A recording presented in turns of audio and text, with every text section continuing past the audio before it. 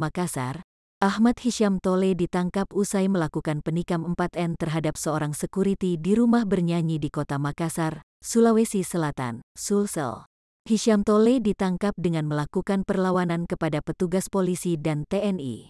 Penikaman tersebut dilakukan oleh Hisham Tole di salah satu rumah bernyanyi di kawasan sekitar Perintis Kemerdekaan, Makassar, pada Sabtu, tanggal 6 Mei tahun 2023, sekitar pukul 5.30 waktu Indonesia Tengah.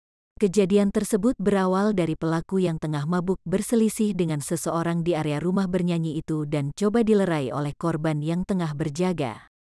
Pelaku yang tak terima kemudian memecahkan botol dan melakukan penikaman dengan pecahan botol tersebut.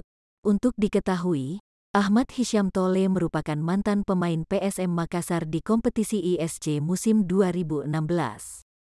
Pria berusia 29 tahun itu juga pernah memperkuat sejumlah klub besar lainnya, seperti Borneo FC, Mitra Kukar, PSS Sleman, hingga PSIM Yogyakarta.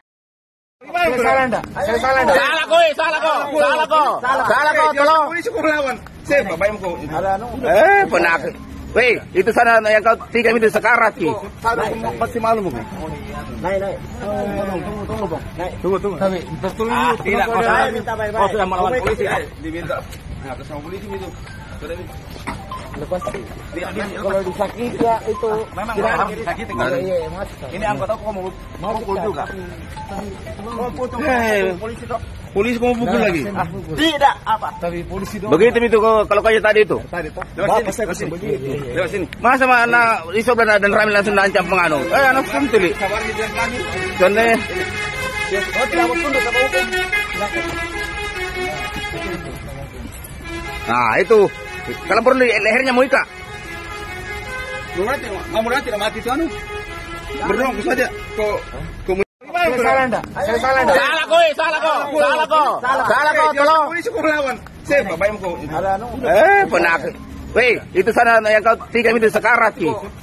Masih malu mungkin. Naik, naik. Tunggu, tunggu, tunggu, Bang. Naik. Tunggu, tunggu. Tapi, betul Ah, tidak, kau sudah, minta baik-baik. kau sudah melawan polisi. Diminta. Nah, sama polisi itu. Sudah ini.